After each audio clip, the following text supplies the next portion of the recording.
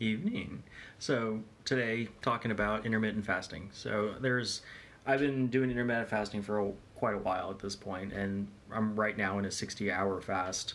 Uh, I just wanted to talk a little bit about why I do it, um, the reasons, the benefits.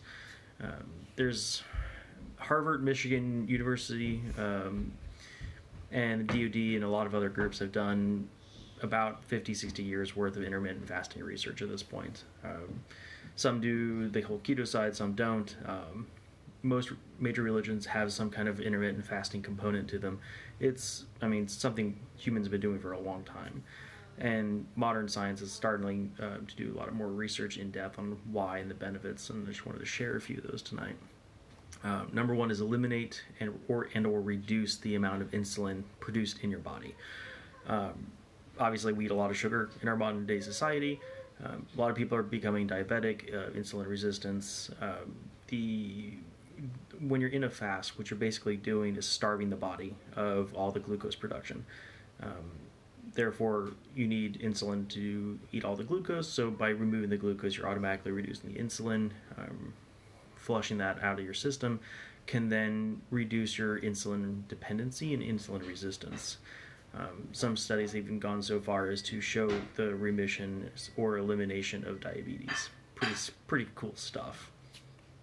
Um, two actually lowers the amount of calories your body needs during that time frame. Uh, if you're trying to lose weight, great way to bust through those plateaus. Uh, if you've ever found yourself stuck, intermittent fasting is a great way to get unstuck.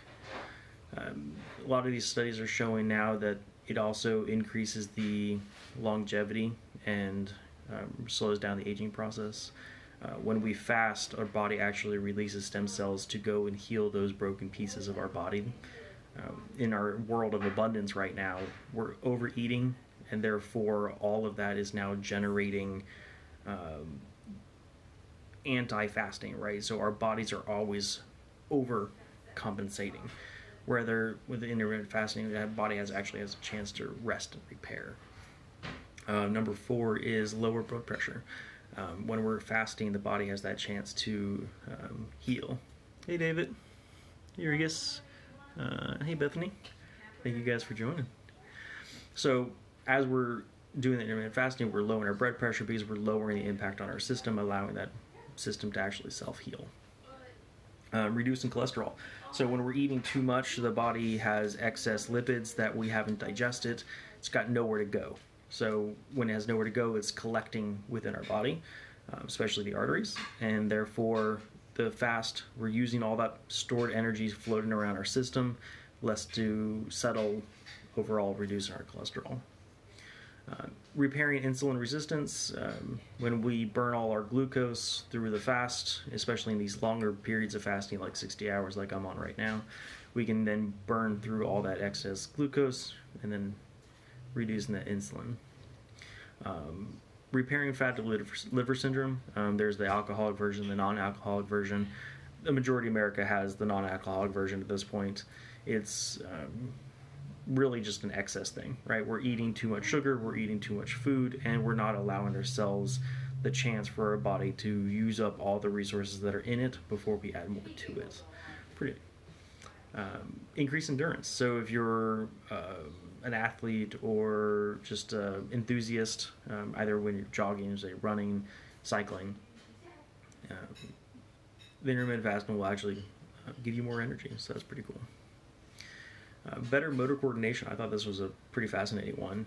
Um, it helps the brain repair itself in that fast period. More sleep. We all I know me, Spurgo got twins, so more sleep is always, always beneficial for me. Um, number 11 is increased lifespan. So as you're interfasting, your body's able to do all that repair work and actually extending life. Um, and one of the more interesting ones is number 12. It's reduced tumor growth and the chances of cancer. Cancer survives on glucose, so to be able to um, reduce all those sugars um, can starve out cancer, which I thought was really interesting. Some of the research I was doing for um, some family members that have gone through that now.